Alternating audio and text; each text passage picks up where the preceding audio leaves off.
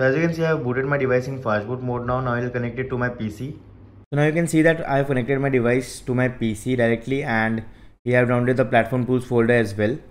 So I'll open the platform tools folder now and I will write in CMD over here on the search icon and type in fastboot devices. And here we can see that our device is not getting detected in fastboot mode. So there's a simple way to fix it. Just close this window. Then download the file from description below. And you'll get this fastboot driver folder.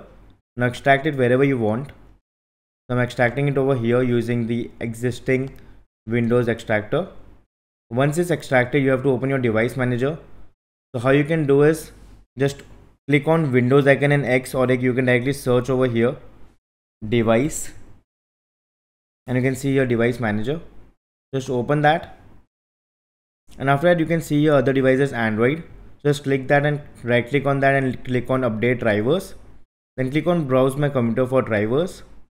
And then just click on browse. And just go to the location where you have kept the download files and extracted it.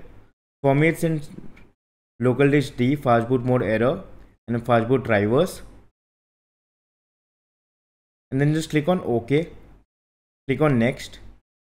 As you can see my our drivers are getting installed and our drivers has been successfully installed and now you can see android bootloader interface has been loaded into our android phone drop down i'll close this thing. And now again i'll just type in cmd and i'll type in fastboot devices. And as you can see now pc can detect our device in fastboot mode without any problem